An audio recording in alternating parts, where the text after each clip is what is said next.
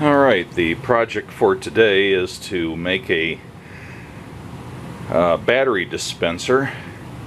For years I've wanted to do this, just never got around to it. I use quite a lot of batteries and various things. A lot of them are rechargeables, but mostly the proprietary ones for digital cameras and my uh, wireless uh, security cameras and things like that.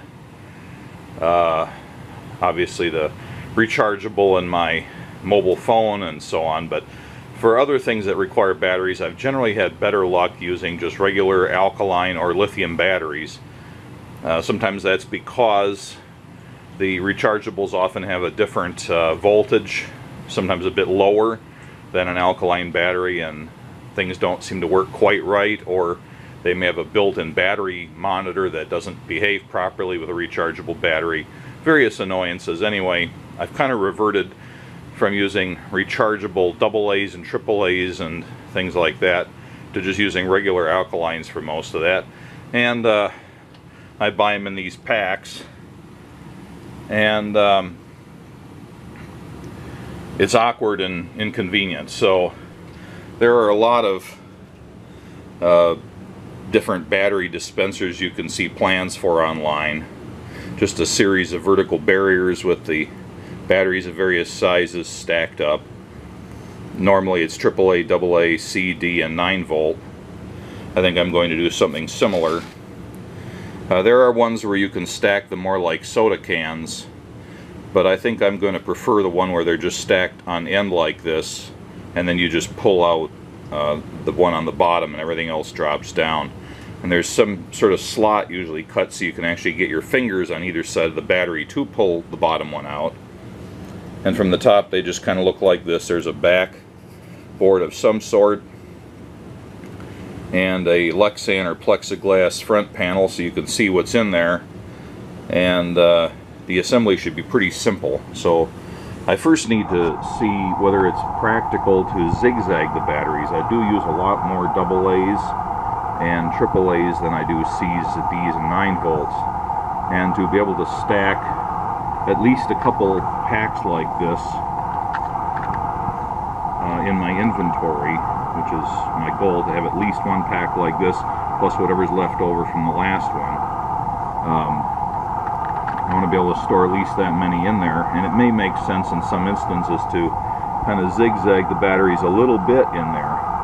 And I want to see what the ideal dimensions are for these channels, their height and their width, before I go out and start cutting wood since the uh, AAAs usually come in packs of either 16 or 20 and I could potentially have up to two packs of 20 in here at any time.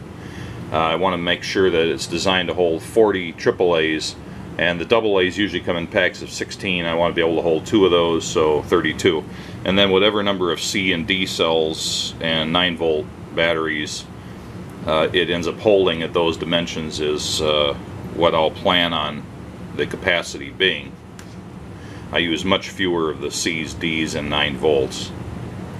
So my calculations say that uh, a AAA is 0.4 inches diameter, a AA is 0.55, and a 9 volt is 0.67 thick.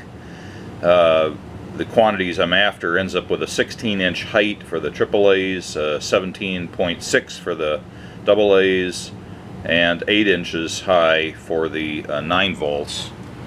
Um, so here's 17 and a half. And that's not a horrible dimension, but I would like it to be closer to a foot high. That'd be a, a nicer profile. So I think I will try to zigzag the double A's and triple A's to get them into a um, a height of closer to one foot for the entire assembly. So I built a temporary lash up in my bench vise, um, experimenting with different widths that would get me approximately a foot high for the assembly to hold 40 AAA's. And this one here works out with 10 cells to be about three and an eighth inch, which works out to about 12 and a half inches for um, 40 of them. And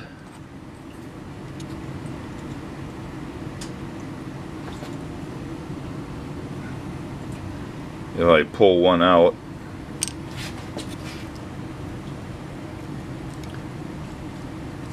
they all feed down pretty nicely.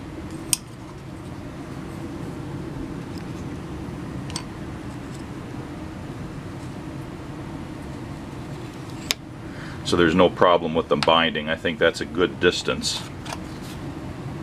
And it ends up being 11 sixteenths between boards. 11 sixteenths. And for the double A's um, it seems like empirically it works out pretty well with a spacing of 15 sixteenths which gives me about 12 and 3 quarters inch total height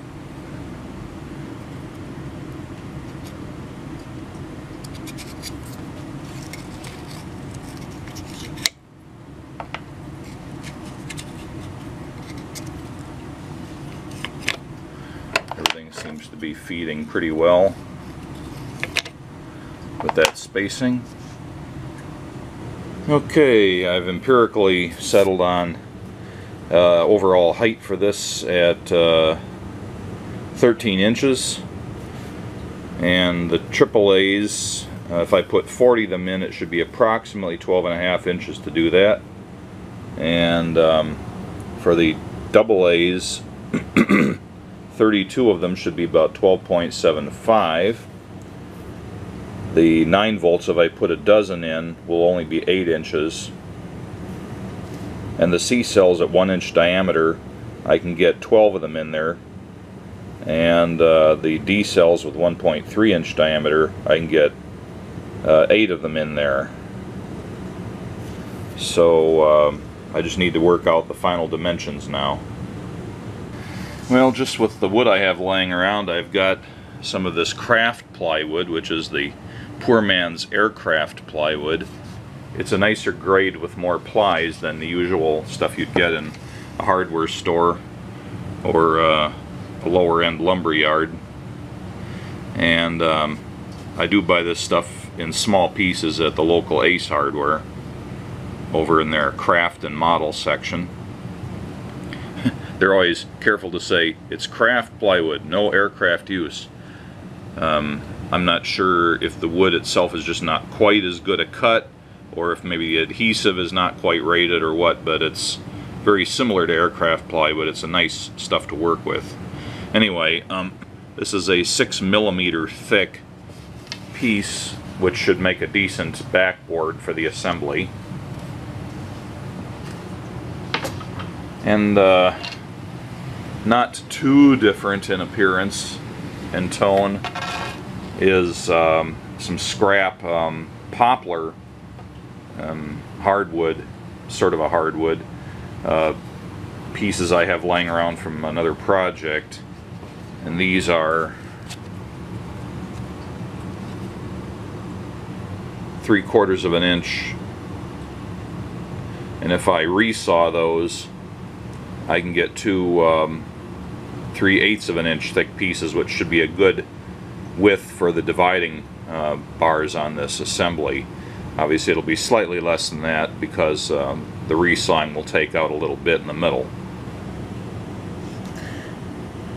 So with one, two, three, four, five, six uh, vertical bars at 3 eighths inch each, which is 0.375 inches, and then a triple A channel at 11 sixteenths, a double A channel at 15 sixteenths, a C channel at 1 and an eighth, a D channel at 1 and 3 eighths, a 9 volt at 1 and an eighth, and in the case of the ones that aren't zigzagged, which is more forgiving, the C's, D's, and 9 volts, I've added um, about an eighth of an inch to the actual width of the battery, so I have a 1 16th inch clearance on each side this prevents any chance of them binding up in there if the woodwork isn't exactly right or anything like that. Maybe a battery has a slight bulge or something. I didn't want to have any binding, so I've opened them up slightly. So I just need to add these dimensions up. And conveniently, that all adds up to seven and a half inches. Not too bad a dimension. So the overall thing is going to be 13 inches high by seven and a half inches wide and I just need to figure out a good depth now. Uh, So with the various battery lengths of one and three quarter, two inch, two inch, two and three eighths, one and seven eighths, and giving it a one eighth of an inch length clearance, again to prevent binding or slight variations. I'm going to need spacers between the dividers for four of the rows. I'm going to need a half inch spacer behind the 9 volts, a .375 or 3 8 inch spacer behind the C's and double A's and a .625 or 5 8 um, spacer behind the triple A's. So I need to allow enough wood for that. And I've realized that even though I naively and carelessly assumed that these strips of poplar I had were going to be an adequate space, I'd have to butt glue them together and plane them and it's going to be a lot more work than it's worth have to go to the Home Depot anyway. I'm just going to pick up a piece of wider board that I can then cut down to the desired uh, dimension. I think I'm also going to put a top on this. This is uh, something that the other designs I've seen don't have. Um, I'm probably going to have this in my wood shop so there's going to be a lot of sawdust in the air and these slots could fill up with sawdust. So I'm thinking that I'm going to put a hinged top on it. It's not going to be all that fancy, but it'll just be another piece of the plywood, backing type plywood, laid on the top with a couple of small uh, hinges so it and an overhang so it can be easily grabbed and flipped up to um, add more batteries. Okay, I've got a piece of uh, the so-called select pine, which is just a nice straight uh, essentially knot-free piece of uh, pine wood. And uh, it's a three-quarter inch exactly thickness three and a half inches wide and about eight feet long. I need six and a half feet for all the vertical pieces so the first thing I'm going to do is basically cut this to size. First thing to do is to cut it to uh, two and a half inches wide instead of three inches wide so I'm just going to rip that on the table saw. And here it is ripped down to two and a half inches wide. The uh, next thing I'm going to do is just cut it to length 13 inch lengths and then I'm going to resaw it to get approximately the desired thickness and all the pieces are cut down to 13 inches long, two and a half wide, and now I just have to get the thickness right. Since I wanted 3 eighths of an inch, but these are 3 quarters of an inch. Anything I cut off is going to make one of them smaller than the desired 3 eighths of an inch. Uh, but I always have tons of room in my shop for various pieces of scrap wood I can use for other projects, so I don't mind cutting them this way. I'm not actually wasting the wood. And the tool I have for doing this the best is my bandsaw, so I'm going to use that to resaw these, in other words, to cut them lengthwise like this. Um, I could use the table saw for this by making a couple of cuts from opposite sides. I'm going to cut them oversized anyway and plane them down, or I could sand them, but since I have a planer I'm going to use that. Uh, so I'm going to cut them a little bigger to start with and then plane them to get rid of the roughness on the cut side. So that would work if I was using the table saw or any number of sawing techniques, but the bandsaw will be used here. Okay, I don't really have a resaw fence for this table saw, but uh, I'm cutting a piece that's only slightly taller than the normal fence, so that'll work for resawing. And uh, I'm going to cut it with 3 eighths of an inch on the left, and just a hair more than that, about a 32nd of an inch just so I can plane it down and get rid of any uh, cut marks from the blade and then I'll have the remaining part that I can use for other projects.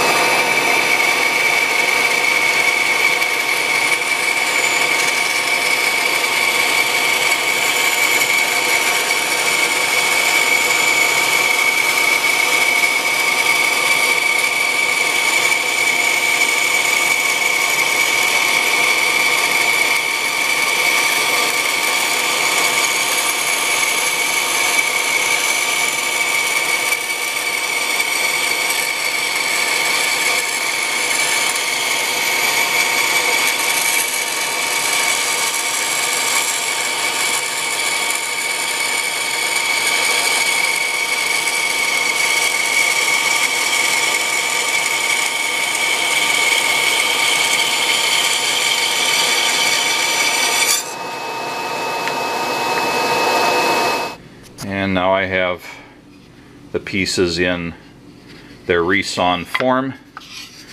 There is a, a slight set of cut marks on one side, the other side smooth. So I'm going to run these through the planer and take them down just a hair. Uh, I could also sand them, um, but I think the planer will be faster and easier.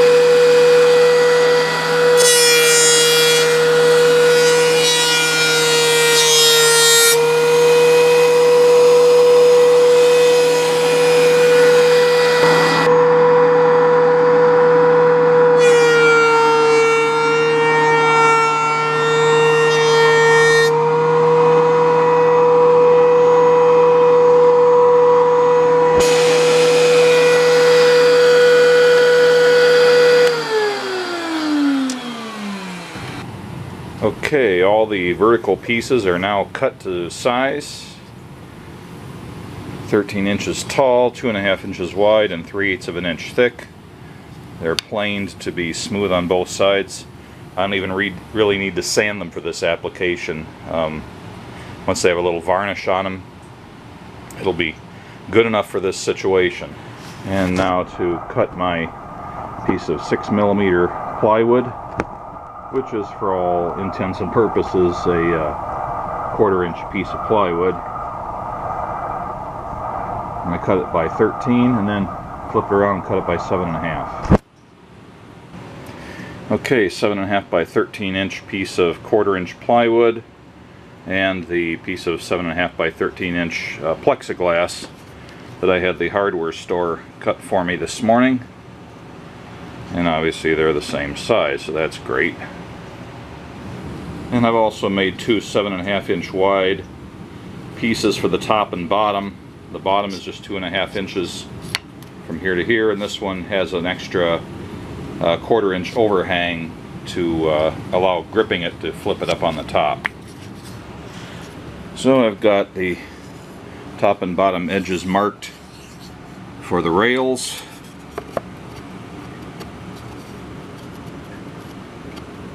Those will sit up there pretty nice. They're all uh, square enough that I shouldn't have to mess with them much to when I'm gluing them. Well, the next task for wood cutting is to take a uh, remaining piece of my three and a half by three quarter uh, pine board and cut it down to make the spacer strips that'll go into several of the channels. So I've just cut it off to length on the table saw and I'm going to use the band saw to cut it into strips in the requisite widths. And so here are the spacers for AAA, AA, C, none's required for D, and for the 9 volt.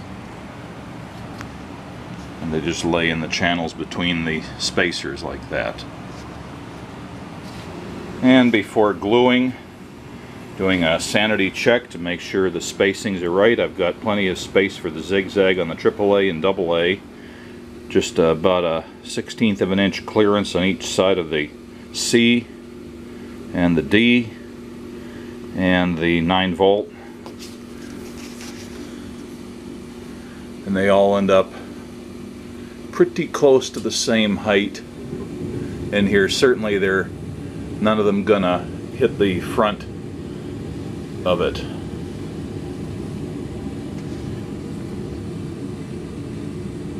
Hey the silver bars almost all line up.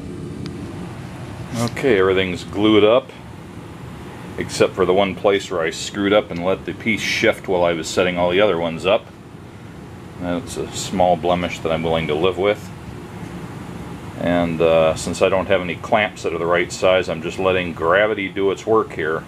This doesn't need to be super strong. The glue will set up nice and hard and it'll be plenty solid just the way it is. So I have to give that a few hours and then I can work on the rest of it.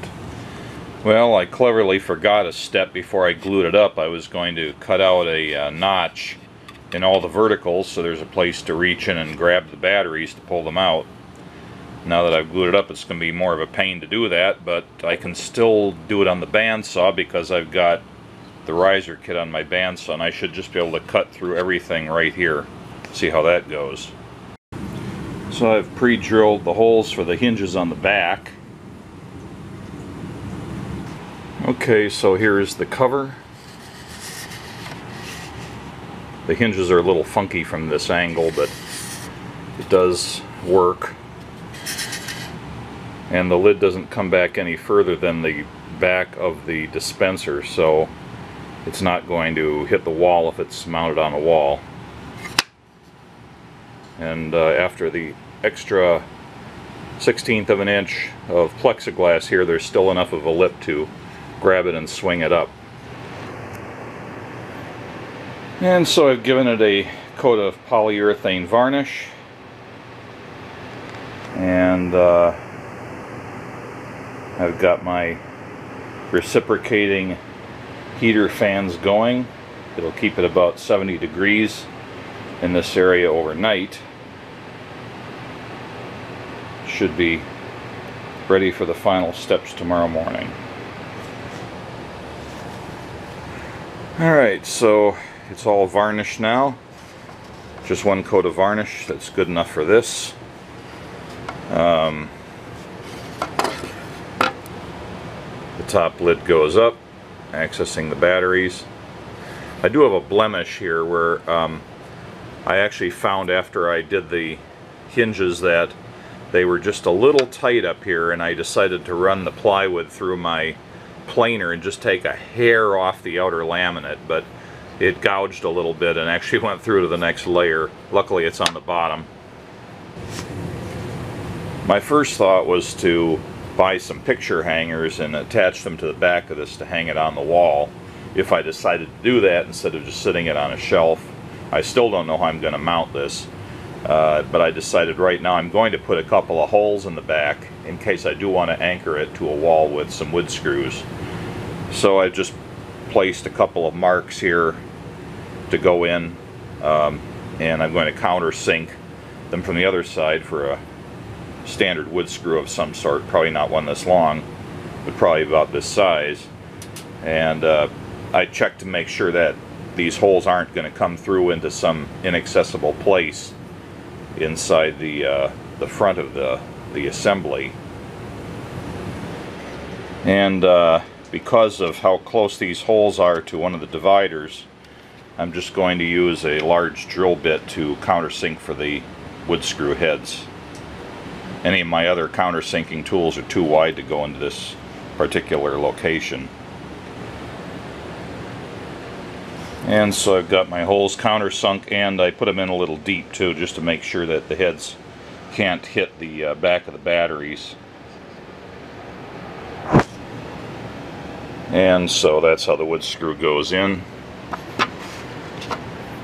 should I need to do that. To attach the plexiglass to the front I've decided to put three columns of screws in, one roughly centered and uh, on the outer panels and then three from top to bottom for a total of nine. And I've got these little wood screws here, actually they're sheet metal screws That'll uh, work well for this. So I've got my uh, pilot hole for the threaded part and my clearance hole to go through the plexiglass. Okay, so I've drilled the holes in the acrylic or Lexan or plexiglass, whatever the hardware store gave me, and the pilot holes in the wood. And everything looks like it's lining up good, as it should, because I drilled everything straight through. Just got to put the screws in now. And there's the finished product.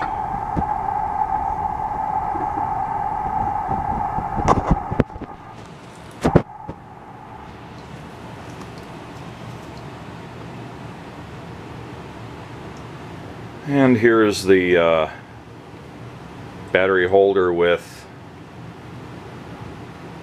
more or less half of its capacity.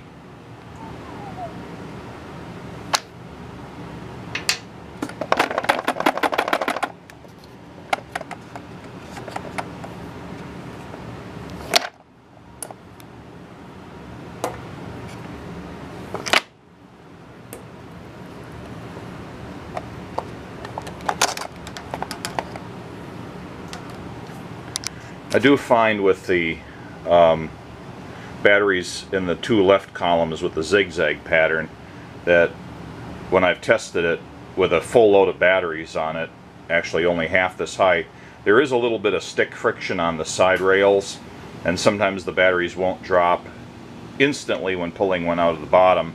And if I just tap it on the side that usually has caused them to drop. And if I need to you know rap it on the top or something a little bit that has caused them to, to drop down. So that's a consideration if you're going to build something like this. You might decide you want a little less capacity and just do a straight column that would avoid that issue. Uh, but it does work that way. The other thing I've noticed is that there seems to be a very small difference in the diameters of these batteries. As near as I can measure it, my rails are straight parallel but I've found that these smaller batteries in the zigzag pattern tend to stack with their uh, the bottom side or the back side slightly higher and that accumulates an angle which is why I have not loaded them any more than this because they'd really get going at a weird angle. Uh, that was not an anticipated thing and I didn't discover that in my tests because I only did a few batteries. So again, if I was doing this again, I would probably just use a straight column of batteries instead of a magazine load like this. But it still works this way, it's just not quite as ideal as I'd hoped. And if any of these top-loading battery holders, storage devices, whether they're the kind that they go in like uh, cans in a soda dispensing machine or whether they go in magazine loaded or any of the different orientations, uh, you're loading them from the top and they're going to drop, so you want to be gentle about it. It probably doesn't do the batteries any good to drop a long distance. Um, when I loaded this up, I actually kind of rolled them in. I held it at, a, at an angle and kind of rolled them in. Uh, but that had the result of them often flipping over. And you can see some batteries that went in uh, the other way, which is not a problem. Uh, and if you have this bolted to the wall you're not going to be able to do that for reloading. This is heavy enough where there's absolutely no problem. I don't actually think I will bolt, uh, bolt it to a wall. I'll just let it sit on the shelf somewhere and it'll be fine. And that does allow me to take it out and you know jiggle it a little bit or whatever. And another consideration is I'm glad that I left a little extra clearance front to back on these because under certain conditions if a battery goes in a certain way it could bind up a little bit more and having that slight extra clearance I think I had uh, you know better part of an eighth of an inch clearance front to rear. Uh, that just helps the situation by preventing them from uh, jamming up at an angle. I still don't know whether I got Lexan or plexiglass on this modern Lexan is so optically clear it looks like plexiglass. I did not smell the usual plexiglass acrylic smell when I was uh, cutting and drilling this so I'm thinking it was just Lexan. Uh, but that's fine, and it's actually easier to machine in some ways because it doesn't shatter so easily like uh, regular plexiglass would. So, any more thoughts on this? I don't think so. This is the way I built mine, and it seems to work. Oh, one more thought. I made this little stick. It's a couple inches taller than the whole assembly. And I found that was useful. Sometimes to just go in here and tamp down the um, magazine loaded ones if they were binding up funny.